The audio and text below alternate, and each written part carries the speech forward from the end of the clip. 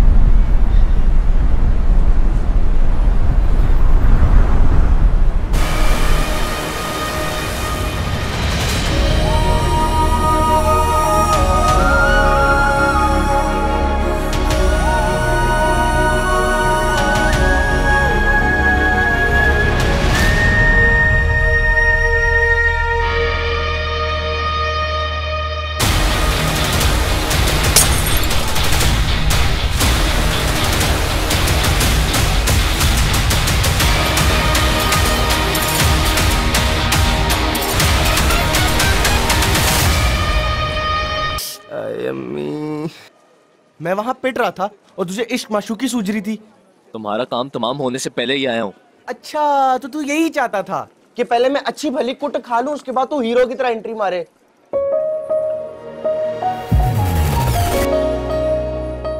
भाई लगी है। वे चल तेरी मरम पट्टी करवाए। एक ही तो दोस्त है। क्या हुआ अगर तू मुझ पर नहीं गया? तुझे गोद लिया ऐसे थोड़ी ना लवारिस छोड़ूँगा। ये ले। साला वो तो ऐसे कह रहा था जैसे कि मैं गूँगी बहरी अंधी हो जाऊँ। उसका बस नहीं चल रहा था कि उंगली पकड़ के चलाता मुझे। पता नहीं बाबा ने उसे इतना मेहरबान क्यों कर दिया है? ऐसे मेहरबान लोग अगर मेहरबानी करें तो समझो दिल ही दिल में कुछ मनवाना चाहते हैं। क्या मतलब? खैर छोड़ो मतलब मतलब। उसके बारे में बताओ ना। किसके बारे में? कॉलेज से लेकर घर के गेट तक सब कुछ तो बता दिया। अरे वो ही गुंडा मैंने उसका अच्छे लफ्जों में ज़िक्र नहीं किया था जो तुम पूछ रही हो। अच्छा ये तो बताओ कि देखने में हैंडसम लगता है। मेरा मतलब ऐसे बहादुर लोग कुर्सी उठा दे मारने वाले टशन से चलने वाले ऐसे डैशिंग होते हैं ना। तुम फ़िल्में बहुत देखने लगी हो इसलिए फिल्मी हो गई हो। हाँ और आप उतनी ही बोर हो गई हैं। आई I मीन mean, आपको तो आकर मुझे कहना चाहिए था। आज उसने मुझे देखा। उसने मुझे कहा माशाल्लाह बिस्मिल्लाह वैसे वो देखने में कैसा चुप। चलो बेटा दोनों दूध पियो और सो जाओ। ले लो। बाबा सो गए? हाँ। ये मुझे दे। सो गए। सुनी? जी अम्मी। बेटा मुझे तुमसे एक बात करनी है। बोलिए। देखो बेटा मेरी और तुम्हारे बाबा की यही ख्वाहिश है कि हम तुम्हें किसी मकाम पर देखें। तुम्हारी डिग्री तुम्हारी पढ़ाई हम दोनों का ही ख्वाब है। मैं आपको कभी मायूस नहीं करूँगी। मैं जानती हूँ, मुझे तुम पर पूरा भरोसा है। लेकिन बेटा कभी कभी दिल कुछ और ही चाहता है। मोहब्बत में मंजिलें बहुत सुनहरी लगती हैं। लेकिन वो इंसान को रास्ते से हटाती हैं। बस बेटा, किसी से मोहब्बत मत कर बैठना।